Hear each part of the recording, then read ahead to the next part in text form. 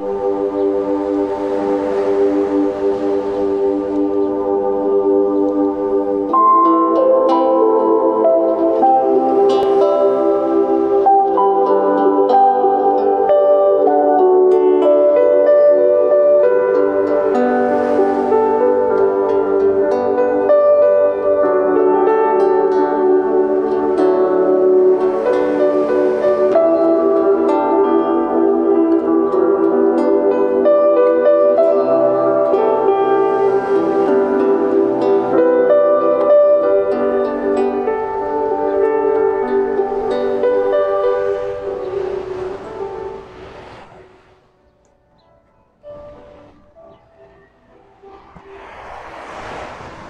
Mis amados hermanos, buenos días. Un poco diferente el día de hoy, pero en la gracia de Dios, siendo bendecidos unos y otros.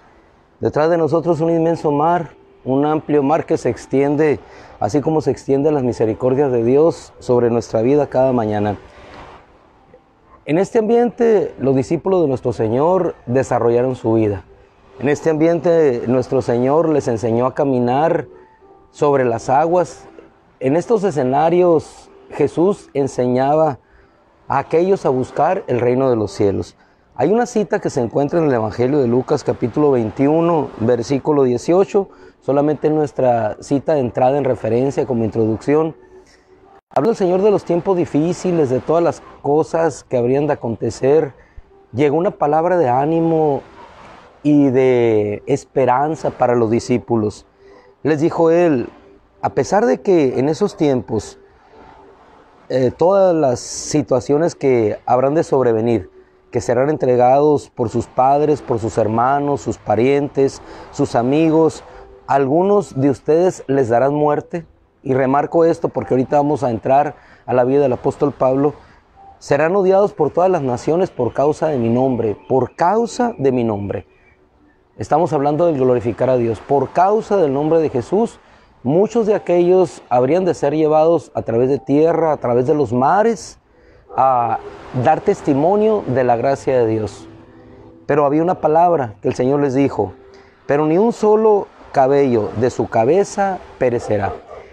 Estas palabras que aún no eran escuchadas por el apóstol Pablo, después él las tomó para sí. Ahora sí, las tomó para sí. Te invito por favor al libro de los Hechos, capítulo 27. Eh, vamos a tomar solamente lo fundamental nosotros. Ustedes eh, habrán de leerlo en casa. Pero vamos a ver aquí cómo esta palabra, dicha por el Señor, trasladada a través de los discípulos, llegó a ser no solamente una palabra, sino vida para el apóstol Pablo.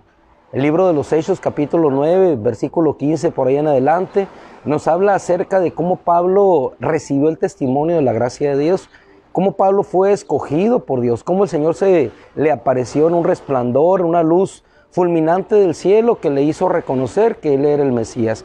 A partir de ese momento su vida cambió, su vida transformó, su vida se tornó totalmente en otro, en otro sentido. Aquel Mesías esperado se volvió una realidad para él. Fue eh, llevado a una situación de humillación, reducido a la nada, para que entonces el Cristo pudiera exaltarse en su cuerpo. Más adelante lo entendería. El Cristo será exaltado en mi cuerpo. Eso le llevó, le motivó, lo impulsó, siempre le llevó a buscar a Jesús. Aquel hermano suyo, Ananías, le llevó una palabra. Una palabra dada por el mismo Señor Jesucristo me serás testigo, instrumento elegido para llevar mi nombre, mi nombre a los gentiles, a tus hermanos y a los reyes. En Hechos capítulo 27 encontramos ya, así como en el tiempo final, Dios habló, Jesús habló a sus discípulos, que ni un solo cabello de su cabeza perecería, Pablo se encontraba ya al final de ese ministerio, al final de esa gracia, de esa gloria que le permitiría ver su final aquí en la tierra y el principio de su eternidad. Confinado por Festo a una prisión, ya él dando testimonio del Evangelio de Jesús, llega un momento en que apela al César. Apelando al César, es llevado en una de las naves por uno de los centuriones, uno de los oficiales romanos, ahí empieza una de las travesías en las cuales podemos ver al apóstol Pablo, aquel hombre fuerte, en una de las situaciones más complicadas y difíciles. El apóstol Pablo, que siempre era fortalecido en fe, se fortalecía en la gracia del Señor, hoy tenía que enfrentar una situación totalmente diferente, una situación en la cual su confianza en sí mismo sería reducida a la nada para que entonces Dios nuevamente le pudiera dar una palabra y una palabra de aliento pudiera llevarlo a él nuevamente hacia el propósito que Dios había tenido para él. Llegamos en esta parte de la historia, cómo es llevado a un lugar que se llama Buen, Buenos Puertos.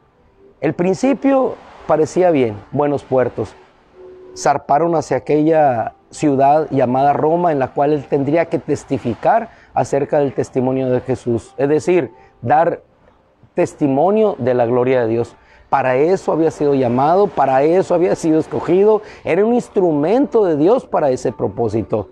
Salió de aquel lugar, Buenos Puertos, no muy convencido de la situación que les esperaba. Desde inicio sabrían que habría dificultades, era un tiempo de invierno, aún así partieron el capitán hizo más caso a su piloto que en este caso a la advertencia espiritual que Pablo le daba. Aún así partieron, confiados en la gracia de Dios.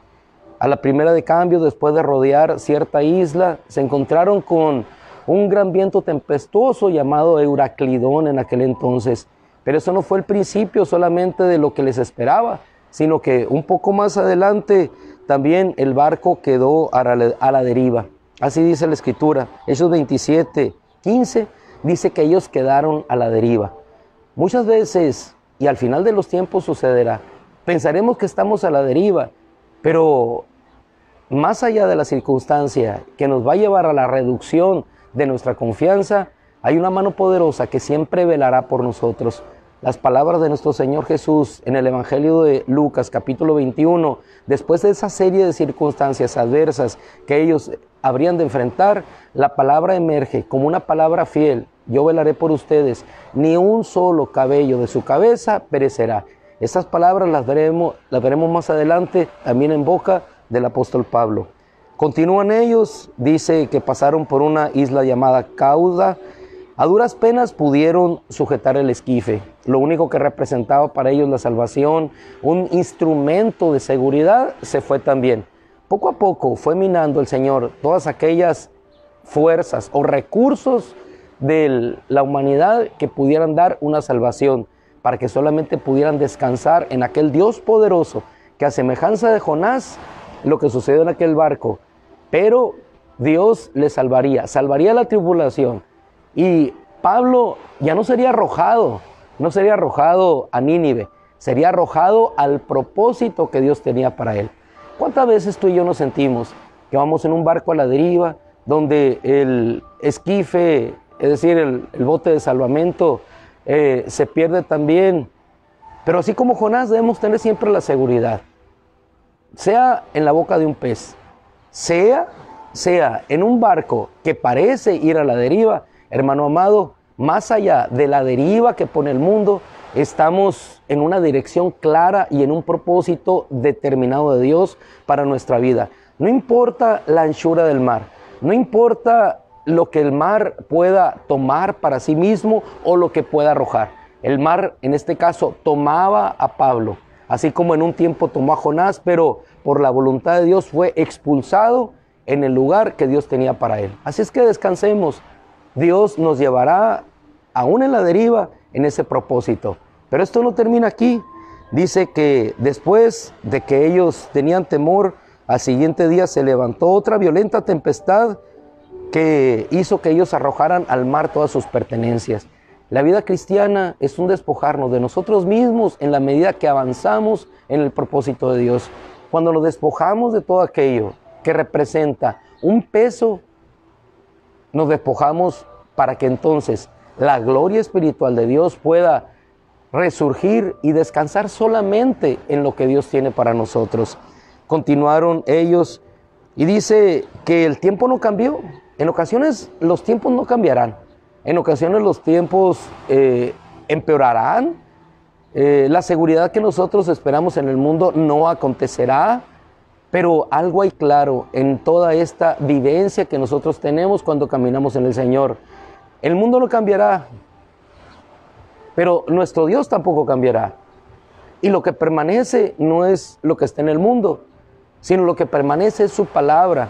Y permanece Él porque Él es el mismo ayer, hoy y por todos los siglos. Tenemos un Dios en quien no hay cambio ni sombra de variación. Él es inmutable, Él es eterno, Él es amor, es toda bondad, toda gracia, toda misericordia, que nos hace ver las misericordias cada mañana.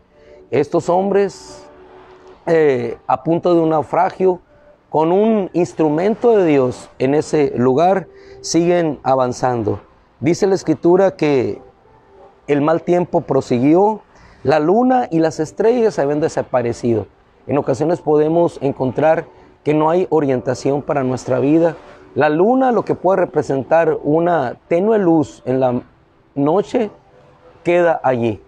Lo que puede representar la estrella, algo que nos guía, que nos conduce, también desaparece. Todo se va. Lo único que no se va es la esperanza de un Dios que nos dio una palabra y que nos lleva en ese, en ese propósito y en esa claridad de camino. Dice el versículo 20 de Hechos capítulo 27 que había desaparecido por completo toda esperanza de sobrevivir. Cuando aparece una tempestad, sobreviene el temor, sobreviene el uso de la fuerza humana. Pero cuando nos encontramos en la anchura de ese mar, nosotros tenemos a las espaldas un mar tranquilo. Ellos no lo tenían no tenían la capacidad tecnológica que nosotros tenemos el día de hoy. Y aún así, si la tuviéramos, ¿qué podemos hacer ante un mar embravecido? ¿Qué podemos hacer ante un mar que se vierte sobre nosotros? Nada, absolutamente nada, solamente confiar en Dios. Eso es lo que ellos harían en lo siguiente. Había desaparecido por completo toda esperanza de sobrevivir. Además de eso, dice que nadie había comido nada obviamente estaban haciendo reserva, estaban guardando porque no sabrían cuántos días habrían de permanecer a la deriva. Muchas veces nosotros hacemos eso, empezamos a guardar porque para el futuro que es incierto. La inseguridad del temor nos lleva a eso, pero la seguridad de nuestro Dios nos lleva a despojarnos cada día de aquello que representa nuestra seguridad, nuestra confianza para solamente caminar en Él sabiendo que Él nos llevará a un lugar donde habrá alimento, donde habrá cobijo, donde habrá comida. Ese es nuestro Dios. Había desaparecido. Entonces eh, Pablo llegó junto con ellos a otra isla, pero él tuvo esta palabra para con ellos. Yo los exhorto, dice, que no se angustien porque no habrá pérdida de vidas. Y esta es la palabra que siempre está presente en nosotros. No teman a los que matan el cuerpo, pero nada más pueden hacer. Teman más aquel que puede tanto destruir su alma como su cuerpo en la quejana, en el infierno. Nuestro Dios es el guardador de nuestros cuerpos, nuestro Dios es el guardador de nuestras almas, nuestro Dios es el guardador de nuestros espíritus, nuestro Dios es el Dios todopoderoso que guardará de nosotros hasta el final. Aún así, en esas circunstancias que nosotros enfrentamos, siempre viene el temor, viene la desconfianza, pero siempre habrá una respuesta y tenlo bien claro en tu corazón, siempre habrá una respuesta de Dios para tu corazón. Jamás Dios nos dejará. Aún en la podredumbre del pecado, Dios nos llamará, nos levantará, nos sacará de la posilga y nos traerá a la casa, a la casa de abundancia. Nos sacará de este mundo que aún en su belleza, en espejismo, nos sacará a la realidad. Vivimos en un espejismo, vemos solamente en la sombra de lo que es la eternidad. Y algún día nos, sacarán de la tempestad de este mundo tempestuoso para que podamos llegar a una casa de abundancia en la que tendremos siempre vida eterna y pan abundante. Ellos continuaron. Lo importante es la palabra que en este caso Dios da a través de Pablo a esta tripulación. Porque esta noche se me ha parecido un ángel de Dios a quien pertenezco y a quien sirvo.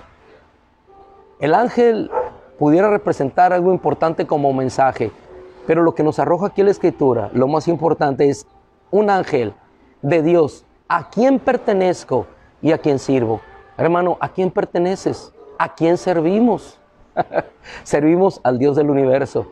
Y en esa bravura de la situación que estaban enfrentando, aparece un ángel y le da una palabra, diciéndome, no tengas temor, Pablo, has de comparecer ante el César y aquí Dios te ha concedido como dádiva todos los que navegan contigo. Por tanto, varones, tengan ánimo, tengan ánimo, pues yo confío en que, te, en que tal como ha sucedido, como ha dicho, así sucederá. Y efectivamente, así sucedió. Ellos empezaron después de esta palabra a empezar a ver una luz de esperanza antes que ver la realidad.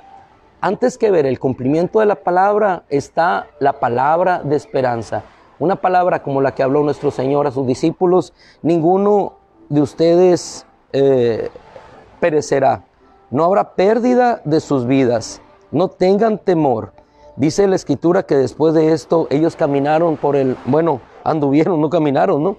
Caminaron en el barco, anduvieron 14 días por el mar Adriático. La situación no cambió.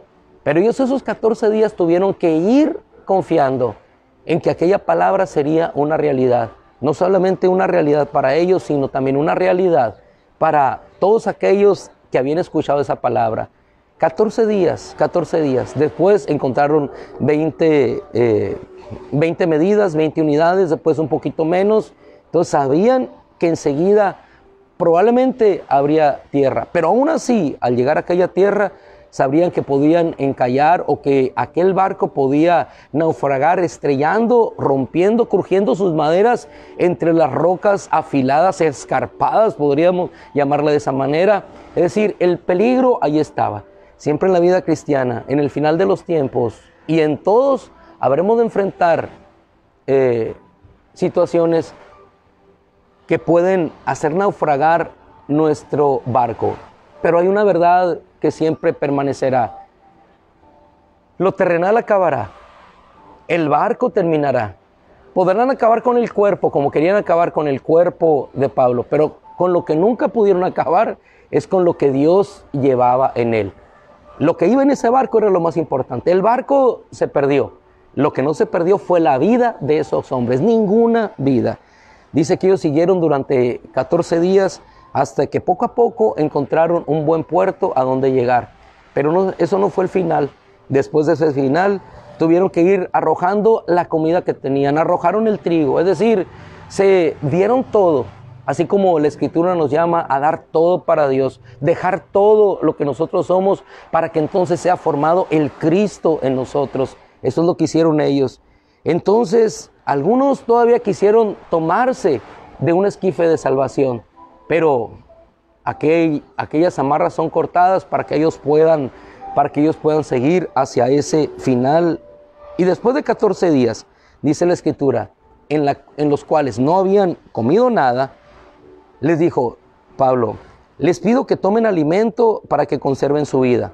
Y viene esta palabra que te decía del Evangelio de Lucas, porque ni un solo cabello de su cabeza perecerá, ni un solo cabello de su cabeza perecerá. Ni un solo cabello de su cabeza perecerá. Esas son palabras que están tomadas del Evangelio. Son palabras que el mismo Señor Jesús dejó a sus discípulos y que ahora las toma Pablo, las hace parte de su vida y la incrusta en la mente y en el corazón de aquellos que tenían temor. Y es lo mismo que nosotros podemos hacer hoy.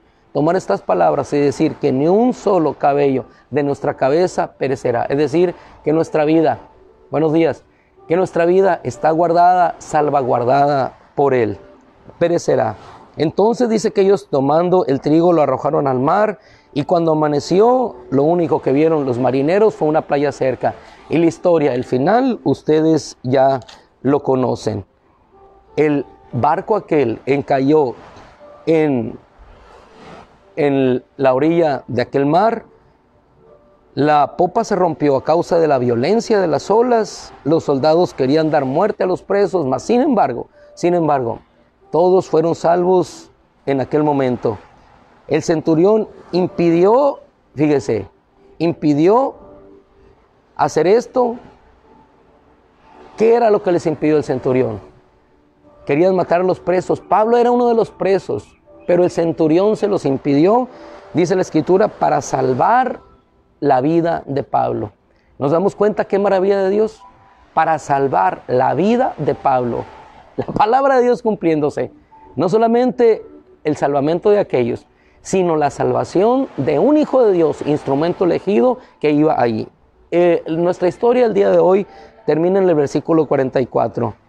Y los demás cruzaron sobre tablones, sobre otros trozos de madera del barco, y de esta manera todos llegaron a salvo a tierra. De esta manera todos llegaron a salvo a tierra. ¿Cómo habremos de llegar? Algunos en tablones, algunos nadando, algunos aferrados al cuerpo de otros. La realidad es que todos llegaremos a salvo a tierra. Dice la escritura que todos ellos fueron salvados todas aquellas personas, 276 almas salvadas, confiando, creyendo en esa palabra que Dios les había dado. Así que mis amados hermanos, sigamos confiando. No importa la anchura del mar, no importa lo embravecido del mar que tengamos hacia adelante, no importa el barco que se hunde, no importa las cadenas que nos atan, aún si las cadenas nos atan, siempre habrá un centurión enviado por Dios para salvaguardar nuestra vida. Y un ángel mandado del cielo que nos dirá siempre, no perecerán, les ha sido entregada su vida, todo por la mano de Dios. Al igual que ese ángel, pertenecemos a un Dios, servimos a un Dios que está sobre las tormentas y sobre las tempestades. Por eso en la medida que más nos dejamos de todas aquellas cosas que hacen peso para esta tierra, en esa medida más caminamos fortalecidos en Dios, a esa gracia infinita que Dios nos hace tener hacia enfrente, caminar en ella. Oramos, que Dios les bendiga. Le damos gracias a los hermanos que nos permitieron hospedarnos en esta casa. Qué bueno, es una bendición. Oramos. Padre, en el nombre de Cristo, y los dejo con una naturaleza hermosa creada por nuestro Señor. Padre, te damos gracias por tu bendición y por tu amor. Te damos gracias, Señor, porque hoy podemos nosotros caminar en un mar sosegado, Señor. Caminar encima de qué, Señor? O navegar encima de qué? De lo que sea, Señor. De un barco, de una lancha, de una tabla, de un esquife, aferrado a otro, Señor, que nada, cuando nosotros no sabemos nadar. Lo que sí sabemos, Señor, es que somos llevados por ti antes que ser llevados en un barco. Somos llevados por ti antes que ser transportados sobre una tabla. Somos llevados por ti, Señor, antes que ser llevados en un esquife.